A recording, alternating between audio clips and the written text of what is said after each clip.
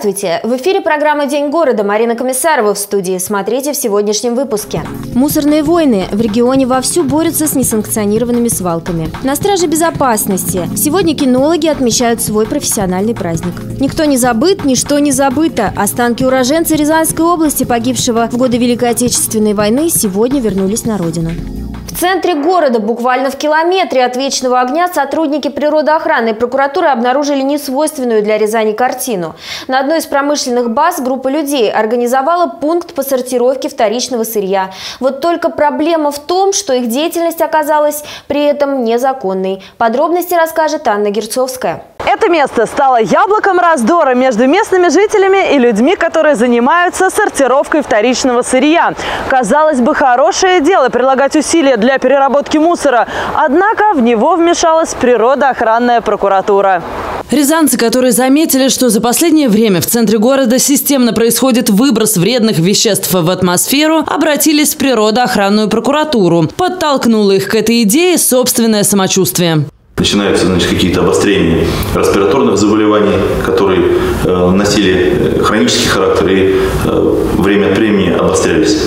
Мы провели проверку на территории предполагаемых жителями объектов, где возможно нарушение.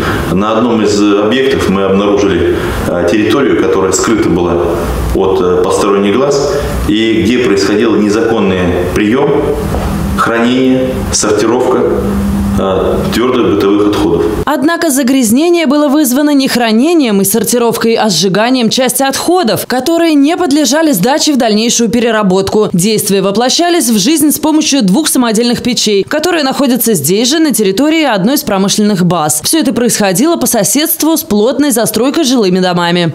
В момент прокурорской проверки приезжала машина, мусоровоз с 8-кубовым контейнером и выгружал это все на значит, один из э, предназначенных ими для этого участков местности.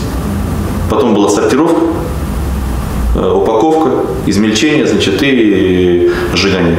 В свою очередь, когда наша съемочная группа выехала на место, нам удалось напрямую пообщаться с организаторами пункта сортировки мусора. По их словам, в печь случайно попал пластик, и активисты, опираясь на статью 0103 правил пожарной безопасности, старались нам доказать, что сжигание на расстоянии 50 метров от домов допустимо, и кроме дерева они стараются ничего не сжигать. Но даже при выполнении всех норм этих правил для осуществления такой деятельности требуются разрешительные документы организациям и гражданам, занимающимся занимающимся переработкой. Это граждане, то есть это нам объяснено, что это граждане осуществляют деятельность, это не было какой-то юридической фирмы, у них не было никаких разрешительных документов, которые могли и должны свидетельствовать о том, что их деятельность безопасна. Сейчас материалы проверки отправлены в органы контроля, а точнее в Министерство природопользования и экологии Рязанской области, после чего будет вынесен вердикт, и организаторов пункта переработки, а также представителей мусоровозов ожидают административные наказания. В экологическом праве, в отличие от уголовного, существует презумпция экологической безопасности. Здесь доказывать вину не нужно. Деятельность считается безопасной только когда на нее имеются соответствующие документы. По сути, хранение и сортировка вторичного сырья сырья не оказывают негативного воздействия на окружающую среду. Однако, как бы ни была идея переработки мусора сейчас актуальна, для ее реализации все-таки необходимо получить все разрешения. Тогда препятствий на пути к улучшению экологии не будет.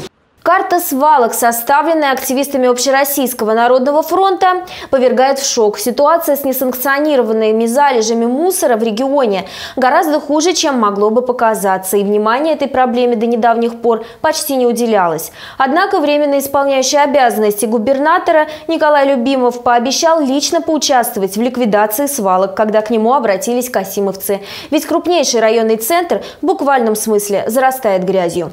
Александр Миронов – активист Общероссийского народного фронта в Касимове. Свою работу в организации начал в этом году. При содействии Александра на карту свалок Рязанской области попали несколько десятков подобных касимовских объектов. В одном из поселков Рязанской области э, была ликвидирована свалка, и на этом месте установлен памятник э, э, Великой Отечественной войне. То есть там уже рука у людей не поднимется выкинуть мусор. И как бы считаю тоже хороший опыт. Почему бы нам не применять его, например, в том же парке центральном нашем. В Рио губернатора встретился с активистами ОНФ 19 июня. Николай Любимов поставил задачи местным властям в кратчайшие сроки убрать образовавшиеся скопища мусора. В Касимов указы в Рио губернатора дошли молниеносно. В городском парке культуры и искусства уже приступили к уборке.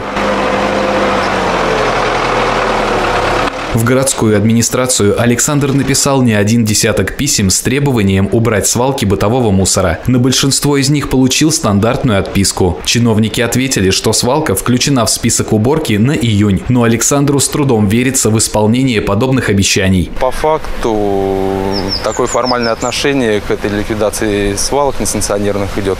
А, либо это просто засыпают э, землей, и в итоге мусор как остается, так и остается. Либо э, свалки сгребаются, но не вывозятся. Здесь э, не управиться даже и в течение месяца, потому что работу необходимо полномерно вести. Изначально произвести опилку деревьев, э, организовать подъезд хотя бы техники к данной свалке. И постепенно, полномерно убирать эту свалку в течение хотя бы там э, нескольких недель. Перед активистами ОНФ стоит важная задача. Необходимо добиться, чтобы городская администрация Касимова выполняла свои функциональные обязанности, поддерживала комфортные условия жизни в самом крупном районном центре региона. Десятилетия минули со времен страшной войны, но память о героях будет жить вечно. По сей день поисковые отряды продолжают отыскивать останки без вести пропавших солдат. Накануне памятной даты, даты скорби, на Богородском кладбище Рязани перезахоронены остатки еще одного героя, погибшего на Кубанской земле и обнаруженного только в этом году. Младший лейтенант Григорий Сидоров родился в 1923 году в деревне Нашатыркино Рязанского района. На Великую Отечественную войну он ушел совсем молодым. И также совсем молодым он ушел из жизни в 1943 году 30 июля. После окончания войны его самолет так и остался лежать погребенным в землях Краснодарского края. И вплоть до настоящего момента об этом воине не было ничего известно. Но в 2016 году кубанские поисковики нашли его самолет. А после началась кропотливая работа. По номеру двигателя они выяснили модель истребителя. После дело за малым. Узнать по военным документам, какой именно самолет не вернулся с боевого вылета. Так и узнали имя пилота – Григорий Сидоров. В мае 2017 года его останки были переданы для предания родной земле представителям поискового отряда Рязанской области АК «Рязань». Ребята, большое вам спасибо за ту работу, которую вы делаете. Вы делаете огромную, нужную, важную работу, которую, ну, я не знаю, с чем это, это можно сравнить. Родственников в Рязани у него, к сожалению, не сохранилось. У пожилой семьи Сидоровых было три сына, два из которых погибли на войне, а судьба третьего так и осталась неизвестна. Безусловно, очень трагический, траурный момент, потому что мы сегодня хороним защитника Отечества, по праву защитника, на которого нужно равняться всей нашей молодежи. Потому что отдать жизнь свою в 20 лет, когда только все начинается, когда все еще впереди, это действительно героический поступок. Сегодня, 21 июня, останки бравого воина Рязани предадут родной земле. Теперь он будет похоронен в воинском квартале на Богородском кладбище. Действительно скорбный момент. Но это истина, действительно. Истина действия. Никто не забыт, ничто не забыто. И этот пример всему человечеству, что Русь своих героев не забывает, где бы они ни находились, когда бы их не обнаружили. Герой остается героем. Это не первый солдат времен Великой Отечественной войны, найденный не на территории родной ему Рязани. С 2016 года нашли четырех человек, которые также были похоронены на этом кладбище. И каждая такая находка – это целое событие, как для поисковых отрядов, так и для родных и близких погибшего. Ведь это напоминание всем нам, как молодые ребята ценой своей жизни защищали Родину. Жители нового жилого дома в Песочне, готовясь к новоселью, не подозревали, с какими трудностями им придется столкнуться. Застройщик не позаботился о дороге, ведущей к многоэтажке. И подобраться к своему новому дому жильцам сложно даже в хорошую погоду, не говоря уже о ненастье. Не раз получалось так, что навигаторы обманывали своих владельцев. С каждым годом программное обеспечение для них становится все лучше и лучше. И уже кажется, что ошибки в них быть не может. Однако, если вы решите поехать на Васильевский переулок в девятый дом, то вас ждет большой сюрприз. Дорога, которая есть на карте, в реальности не существует. По всем актам прием передачи все было замечательно и хорошо. Написано, что сделана озеленительная в документах территория, а, две детских площадки имеется, и что все у нас очень замечательно, все хорошо. Дом сдали еще в 2012 году, а вот дороги нет до сих пор. Местные жители сами раскатали ее на своих машинах. Само собой, от Шереметьевской улицы до самого дома проехать без забот можно только в солнечную погоду, а жильцам без машины и того сложнее. Остановка есть вот возле того дома, но к ней, чтобы пройти, мы не можем воспользоваться своей дорогой, приходится идти чужими дворами. И на машине также зимой не чистится. Один раз всего лишь за зиму трактор приезжает. У кого машины легковушки, проехать тоже тяжело. С тех пор, как сдали девятый дом, вокруг него построили несколько многоэтажек. Облагородили им территорию, возвели детскую площадку. А дороги за пять лет до сих пор нет. Сказали, что вот э, мы дома построим, сейчас вот есть э, техника. Поэтому дорога такая разбитая, что вам ее класть, потому что ездит техника. Потом достроили, и они даже перестали здесь ездить, а, а там еще свою дорожку проложили тот застройщик. Вот. И а про нас просто забыли. Все это осложняется тем, что подъезд к дому только один, да и тот самодельный. Но ворох проблем на этом не заканчивается. На месте березовой рощи может появиться еще одна постройка. На месте вот этой вот говорят, что будет еще соседний дом. То есть, по идее, они будут пользоваться строительной машиной. Получается, они разобьют ее оставшуюся хоть какую-то дорогу, мы вообще не проедем. Если он появится, то жильцы будут попросту заперты. Из-за такой сложной ситуации они обращаются за помощью уже не в первый раз. Писали в различные городские структуры. Есть письма и самому застройщику, и даже в прокуратуру. Но везде получают одни и те же отписки, текст которых словно взят под копирку. Строитель перед застройщиками выполнил все свои обязательства. Если вас что-то не устраивает, вы можете обращаться в суд. Сейчас жители дома на Васильевском переулке по-прежнему пользуются одной единственной накатанной дорогой. Другой нет до сих пор. А к этой, грустно сказать, привыкли. И, вероятно, она так и останется основной дорожной артерией, пока властью города не будут предприняты какие-либо шаги. Обеспечить безопасность людей и предотвратить любые проявления террористической направленности. Контроль над ситуацией в городе несут кинологи. Сегодня они отмечают свой профессиональный праздник. Ежедневно сотрудники службы вместе с питомцами несут службу на местах массового скопления людей. На территории вокзала ежедневно находятся сотни человек. Все они разные, а некоторые и вовсе подозрительные. Примерно так думает овчарка Маркиза. Вокзал Рязань-1. И сейчас мы с инспектором-кинологом Николаем и его коллегой Маркизой идем проверять вокзал на предмет взрывчатых веществ. Маркиза, вперед! Вместе с хозяином кинолога Маркиза каждый день на службе. Сегодня у них профессиональный праздник. Отмечают они его на работе. Как признается инспектор, отношения у них гораздо ближе, чем просто коллеги. Ты приходишь домой, думаешь, как она там, идешь на работу, думаешь, как она там. То есть это как одна семья уже становится. Территория владения – места общественного скопления людей. Вокзал, остановки, площадь. Главное – найти и предотвратить террористическую угрозу. На современном вокзале без такой собаки нельзя. Техника подводит. В любом случае бывают сбои с электропитанием. Ну а с собакой что может случиться? Она всегда готова. То есть взял из вольер в любую погоду, там дождь, не дождь, снег, не снег, град, не град, ночь, не ночь и в бой. Свою службу кинологи вместе с питомцами несут ежедневно. И представить сегодня работу полиции без кинолога со служебной собакой уже невозможно. В Касимовском районе полицейские возбудили уголовное дело за незаконную рубку деревьев. Ущерб оценили в 15 миллионов рублей. Подробности далее. И только щепки летят. Жители деревни Дронина Касимовского района обнаружили подозрительных мужчин. Они вели заготовку леса недалеко от деревни. По обращению местных жителей на место немедленно выехали сотрудники МВД и Нижнеокского лесничества. Полицейские задержали на месте рубки двух мужчин. Выяснилось, что документов на вырубку деревьев у них нет. И незаконно заготовлено 123 кубометра древесины. После прецедента было решено обследовать весь государственный лесной фонд Нижнеокского лесничества. Таким образом, полицейские лесничества лесники обнаружили еще несколько мест, где была проведена незаконная вырубка. Рубка производилась в период с 2014 по 2016 года. В связи с тем, то, что рубка была выборочная, то есть данную рубку никто не замечал. Когда стало известно, было написано два заявления начальником лесничества по данному факту возбуждены уголовные дела. Ориентировочно Касимовскому лесному хозяйству был нанесен ущерб в 15 миллионов рублей.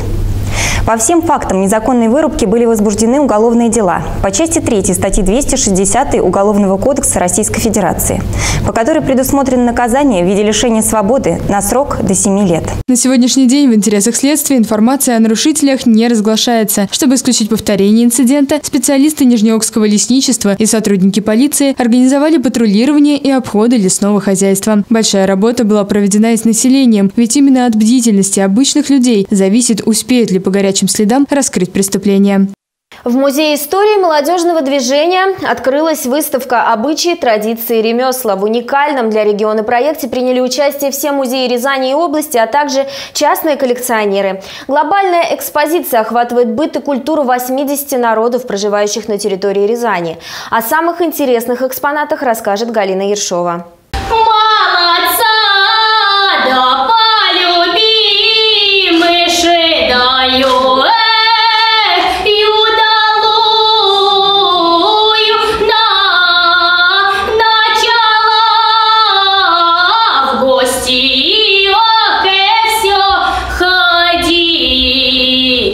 Шиловская лоза и скопинская керамика, кружеуплетение и бандарный промысел. На выставке обычаи, традиции и ремесла представлено около 500 экспонатов из 24 музеев Рязанской области. Экспозиция стала вторым этапом большого выставочного проекта, посвященного 80-летию нашего региона. Коллекцию собирали всем миром, помимо государственных музеев. В ней приняли участие национальные диаспоры и частные коллекционеры. Вообще для любого этнографа вот представленный научный материал э, здесь – это очень-очень очень серьезные работы, поэтому эта выставка не только так вот красиво вот показать эти костюмы, тут рядом с ними пофотографироваться, а она имеет очень э, серьезную такую научную базу. Из разных коллекций авторы составили зарисовки жизни людей конца 19-го, начала 20 века. Здесь можно увидеть как традиционный костюм Рязанской губернии, так и предметы быта, орудия труда, парадная одежда и повседневные рубашки. Многие из этих простых вещей сегодня стали не просто историей, а поэтическим символом. Не ходи, так часто на дорогу в старомодном ветхом шушуне. Так вот он перед вами этот шушун. Это белая домотканная одежда, отделанная красным пузорочьем. Вот этот шушун, он именно для женщины в возрасте. Потому что были для шушуны для молодой женщины, для молодой девушки, они были более хорошо, более красиво украшенные. Помимо деревенской одежды, на выставке представлены костюмы городских жителей и национальные платья различных диаспор. Удивительно, но на территории Рязанской области проживают более 80 народностей. И именно в бытовых предметах лучше всего видно, как перекликаются разные культуры. Много очень похожего, много даже по, просто по-разному называется, а фактически это одно и то же у каждого народа. На каких местах вы, вышиты узоры, на, на каком элементе, то есть это края рукавов, либо центр платья, либо кайма. Общие черты можно найти даже в детских люльках, которые узбеки называют говорами. Однако эта выставка не классический музейный проект. Сфотографироваться в тюбетейке или узбекском халате может каждый желающий. Также в течение всего лета запланированы мастер-классы по народным промыслам. Посетить выставку можно до 30 сентября в Музее истории молодежного движения. Всемирный день йоги отмечают сегодня любители этого древнего учения. Идеология и физические упражнения полюбились мужчинам и женщинам разных возрастов в разных уголках планеты. Каждый находит в йоге что-то свое. Мы живем в большом городе, мы постоянно спешим, мы торопимся жить, теряясь в постоянной суматохе минут. Ритм современного города требует от нас большого возбуждения, что не может не отразиться на нашей и без того хрупкой нервной системе. С ритмом современного города помогает справиться практика йоги. Чем больше город, тем сложнее и быстрее живем. Конечно, йога помогает. Йога – это такой островок спокойствия и возможность выдохнуть, отвлечься, оставить какие-то все дела и суету вовне, за пределами зала выкинуть весь круговорот и жвачку мыслей, просто посмотреть на себя, какой он есть, какой мы, какие мы есть на самом деле. заглянуть внутрь себя, посмотреть вокруг, прислушаться, присмотреться вообще к миру, он многогранен, и подчас мы не видим того, что происходит вокруг нас, потому что загружены, и мозг все время что-то делает, работает, анализирует. Иногда нужно выдохнуть, все прервать, отдохнуть, расслабиться. Йога – отличный для этого способ. Адха Мукха Шванасана, Сарвангасана, Утхита Триканасана. Все эти названия поз-йоги в переводе с санскрита, древнего языка Индии, звучат даже более странно, чем в оригинале. Поза собаки мордой вниз, вытянутого треугольника. Есть даже поза трупа. Она, кстати, считается одной из самых трудных в йоге, хотя внешне кажется, что вы просто лежите на полу. И для многих, кто не знаком с практикой, йога кажется чем-то средним между медитацией и странными телодвижениями, а некоторые и вовсе выступают против из-за религиозных убеждений. Йога полезна настолько многогранна, что она полезна с многих сторон, со всех сторон для человека. Нужна нагрузка для сердца, тренирующая сердце и сосуды, она есть. Нужно развить легкие – легко. Нужно добавить пластичности в теле и продлить жизнь суставам, мышцам, сухожилиям, продолжить жизнь, обычное функционирование в большем в преклонном возрасте, в больших годах. Йога дает возможность. В этом году Международный день йоги проходит под лозунгом «Йога на благо здоровья». Известна на нескольких континентах. Она появилась много веков назад. И за минувшие столетия йога приобрела сотни тысяч почитателей. Этот факт является неоспоримым свидетельством ее пользы для здоровья практикующих людей. То, что это физическая нагрузка, это безусловно. То, что приведение в норму головы, можно так сказать, мыслей, э, очень помогает, когда в сложных ситуациях ну, не можешь разобраться, нужно обязательно прийти на тренировку, после этого обязательно найдется решение. А справиться со стрессом помогут всего несколько асан, так называют позы в йоге. Причем выполнять их можно в домашних условиях. При этом их эффективность доказывает наука. Ученые из Нидерландов обнаружили, что у людей, которые занимаются восточными практиками, изменяется работа генов, связанных со стрессом. Ученые из Великобритании доказали, что йога и медитация могут буквально вылечить от рака. Это также связано с позитивными изменениями в ДНК человека. Подробный видеоурок ищите на сайте телекомпании город62.тв и в нашей социальной группе ВКонтакте. Занимайтесь йогой и будьте здоровы! На этом у меня все. Увидимся в следующих выпусках. Всего доброго. Ипотека 7,4%? Ипотека 7,4%? Как? 7,4%? Да, всего 7,4%. Ваша выгода составит 450 тысяч рублей. Только 6 квартир в месяц. Программа доступной ипотеки от компании «Зеленый сад» и ПАО «ВТБ-24». Бетон. Точно по расписанию. Производственно-строительная компания «Техномонолит». Поселок Мурмина. Телефон 99 24 06.